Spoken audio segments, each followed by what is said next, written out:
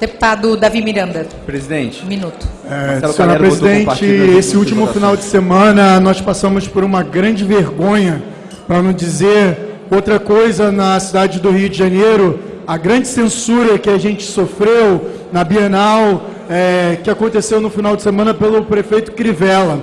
A LGBTfobia exposta é, da ação que ele fez de mover até juízes no domingo. Olha, juízes trabalhando no domingo para fazer censura, mas não foi o suficiente. A população carioca se levantou, foi às ruas, foi à Bienal.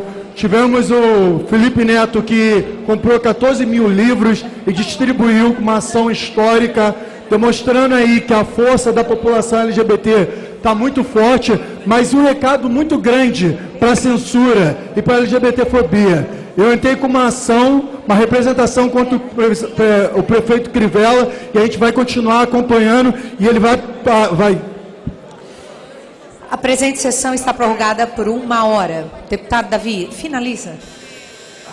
É, apresentei uma representação contra o prefeito e ele vai ter que responder na justiça agora para essa LGBTfobia. A gente não vai descansar até ver as ações que o prefeito teve. Tem muitas coisas acontecendo na cidade e o prefeito quer cuidar de um beijo inocente, que é um beijo entre um casal, como qualquer outro casal. Só porque é um casal gay, a LGBTfobia dele aparece, transparece cada vez mais. Nós vamos lutar cada vez mais. Nosso país já criminalizou a LGBTfobia e agora o prefeito vai sentir no bolso dele e principalmente com a lei que já temos no nosso país. Muito obrigado.